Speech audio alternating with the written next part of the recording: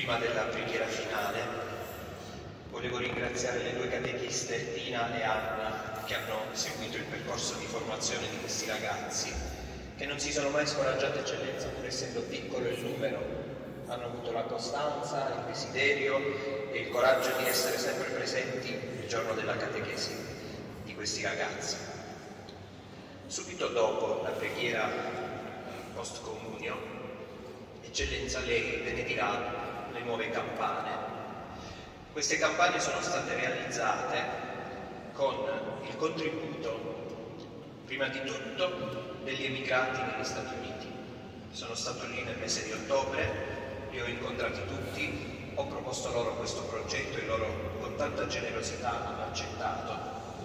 Il progetto totale di fusione delle campane che andavano rifuse e di automazione di tutto il progetto ha avuto il costo di 39.000 euro che grazie a Dio riusciamo a pagare, sia grazie al contributo degli emigrati negli Stati Uniti, sia grazie al contributo di alcune famiglie di Montescaglioso, al contributo dell'amministrazione comunale, a cui ho chiesto anche una mano, al contributo delle confraternite, del comitato feste, perché io ho sempre spiegato loro che queste non sono cose del sono cose della comunità. E quindi tutta la comunità deve essere coinvolta e partecipe quando si eh, mettono su progetti di questo tipo.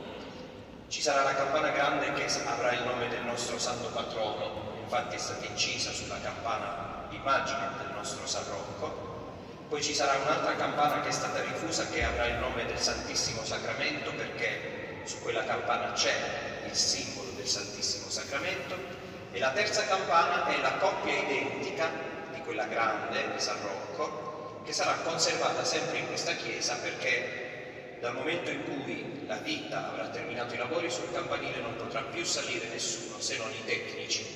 E quindi per far vedere a tutti sempre la bellezza della campana nuova intitolata San Rocco, a San Rocco ho pensato di farne realizzare una piccolina da tenere sempre qui in chiesa così può essere visibile.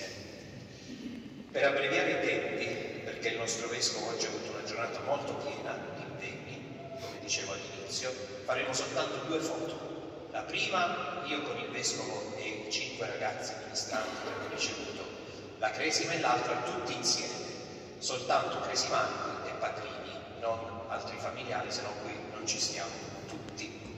Le pergamene saranno distribuite alla fine della messa, quando noi saremo già eh, in sacrestia, dalle catechiste pergamene, vi ricordo. Preghiamo la partecipazione ai tuoi santi misteri, oh Signore, come cura la nostra unione in te, così realizzi l'unità nella tua Chiesa, per Cristo nostro Signore. Amen. Io domani sera sarò di nuovo a Montescatoso, mm. perché farò le cresime nell'altro allora io di solito, come voi sapete, faccio sempre così, invito tutti i ragazzi giovani che hanno ricevuto la cresima a venire a trovarmi a Matera, così vi faccio visitare anche il Palazzo Vescovile, stiamo un po' nella sala, nel Salone degli Stelli, ci mettiamo a cerchio, dove possiamo parlare così i vostri dubbi, i vostri interrogativi, le domande, quello che volete sapere. È un momento molto bello. Magari si va insieme anche con quelli dell'altra parrocchia, così vedete insieme, possono venire anche i padrini, i bambini, chi vuole, e lo sapete ormai che io alla fine offro sempre la cena tutti, tutti quelli che vengono a fare Quindi chi non viene ci perde qualcosa, naturalmente con le cose che portate e poi, eh, e poi sì, ancora la mia giornata è finita, vi invito a pregare anche perché adesso correrò subito a Matera, un'altra parrocchia dove oggi, stamattina, è morto un sacerdote, ecco, era molto ammalato e quindi lo affidiamo alla misericordia del Signore, pertanto la chiesa di San Pietro Capioso, dove è stata allestita la camera ardente, e poi lunedì mattina faremo il funerale. E quindi ancora la giornata di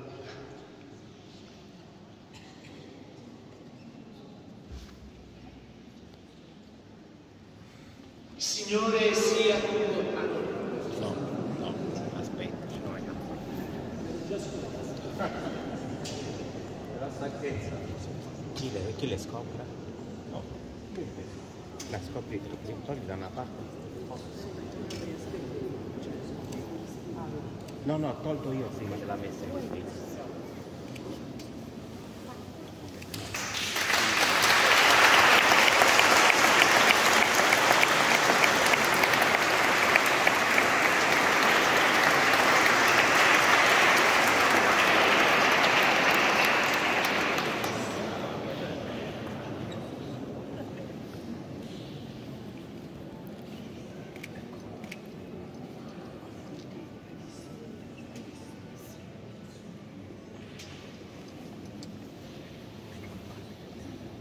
Fratelli e sorelle carissimi, oggi è festa per noi e occasione per cantare le lodi del Signore che nella prima alba del mondo ha fatto risuonare la sua voce all'orecchio dell'uomo e lo ha invitato alla comunione con la vita, con la vita divina, svelandogli i suoi sentieri, misteri e indicandogli le vie della salvezza.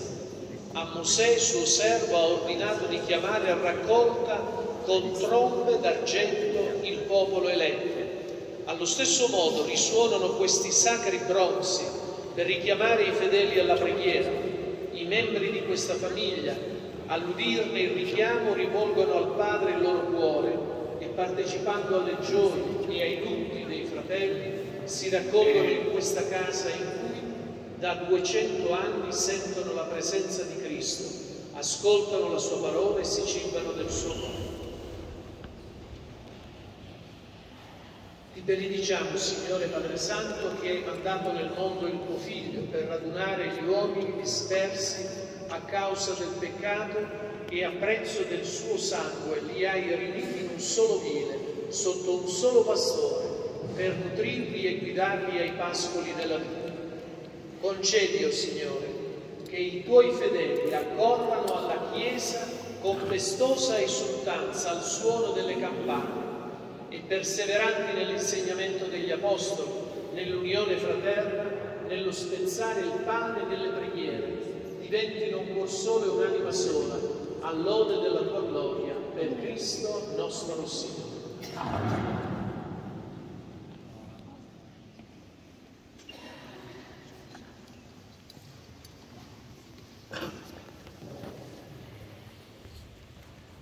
Adesso il vescovo toccherà le campane, darà loro il nome e le farà suonare per la prima volta.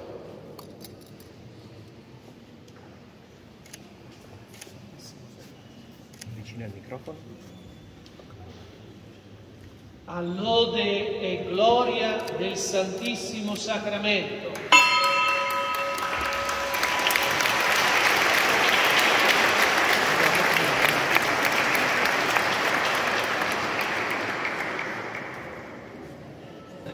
In onore di San Rocco, allode e gloria di Dio.